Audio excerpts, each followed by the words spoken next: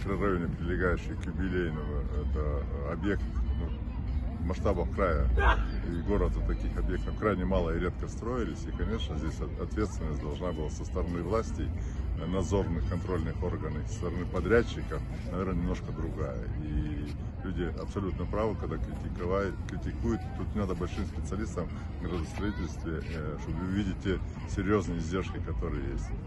Э, Я об этом говорил и приезд губернатора, он спрашивал, какие проблемы есть, и попросил его поддержки. Э, У них состоялся разговор министра строительства Красноярского края с генеральным подрядчиком.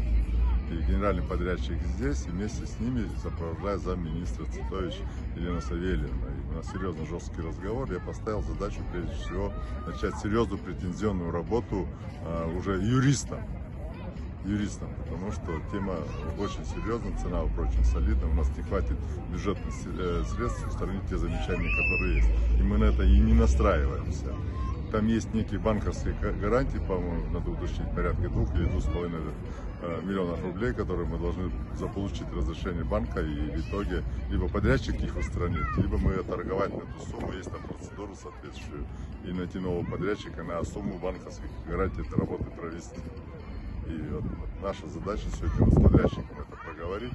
Э, Я должен признать, что э, то, что я убедился, люди видят подрядчик свою всю зону ответственности пока еще не воспринимают. На сегодняшний день особо уверен, что мы с ним, удастся с ним реализовать вот те огрехи, которые есть, пока нет. Я думаю, что судебные иски и претензии у нас еще все впереди. Я хочу заверить всех жителей города, что мы это видим, проблему видим, и, и таких объектов, ну, к сожалению, вот мало, но вот мы обязаны были исполнить более серьезную ответственность. Я, как руководитель, собираюсь от этого самоустраняться и не допуская даже ни, ни мысли, ни минуты об этом. И вы это, я думаю, что должны это видеть и оценить.